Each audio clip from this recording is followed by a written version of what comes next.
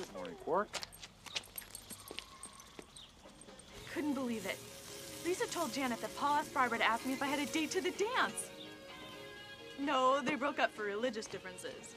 She thought she was God and he disagreed. Yeah, this afternoon around 5.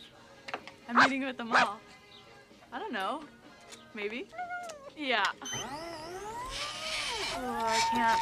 I gotta hang around a while and keep an eye on Nick. He likes to take things apart.